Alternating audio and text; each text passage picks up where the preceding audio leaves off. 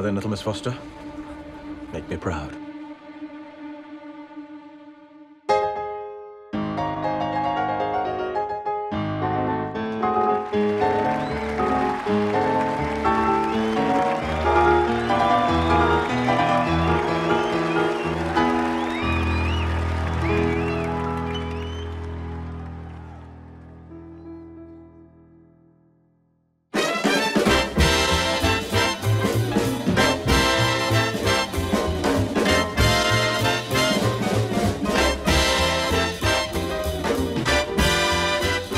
Want to try another take? Well, I don't see why. That seemed perfect to me.